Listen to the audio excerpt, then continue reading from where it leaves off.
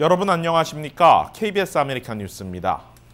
연방준비제도가 어제 연방 기준금리를 0.25%포인트 인하한다고 발표했죠. 금융위기 이후 10년 7개월 만에 인하였음에도 어쩐지 부동산과 금융시장의 기대감은 높지 않아 보입니다. 김경일 기자가 그 이유를 취재했습니다.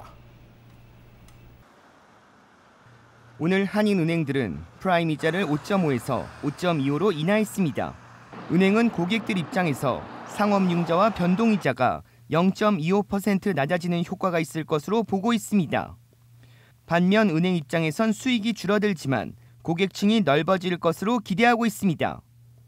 은행에서는 뭐 우선 당장 수익률은 많이 떨어지지만은 또 반면에 그 저희가 손님들한테 더 많은 그 혜택을 드릴 수 있기 때문에 손님들이 편해야 또 은행이 잘 되지 않을까 하는 장기적인 생각은 갖고 있습니다.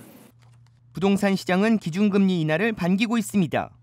주택 구매자들은 융자 금액이 늘고 월 모기지 payment가 줄어들게 됩니다. 하지만 0.25 금리 인하는 이미 너무 오른 주택 가격에 시장 활성화로 이어지기는 어렵다는 분석입니다. 특별히 이번 0.25% 정도 이자율을 내려간 걸로 많은 변동사항은 없어 보이고요. 앞으로 이자율이 한 0.5%, 0.75%더 추가로 인하가 된다 그러면 주택 시장에 상당히 도움이 될 것으로 보여집니다. 증시의 경우 일반적으로 금리가 인상되면 급락하고 인하되면 오르지만 오늘 뉴욕 증시는 급락했습니다.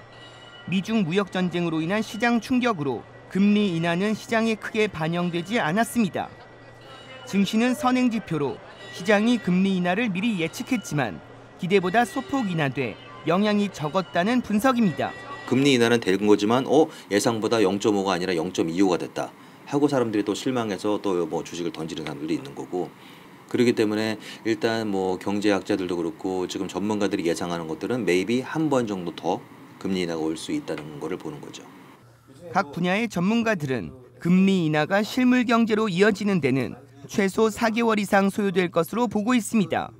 또한 9월 추가 금리 인하와 관련해 올해 금리 인하가 한두 차례 더 이어질 것이란 분석과 추가 금리 인하는 없을 것이란 의견으로 나눠지고 있습니다. KBS 뉴스 김경일입니다.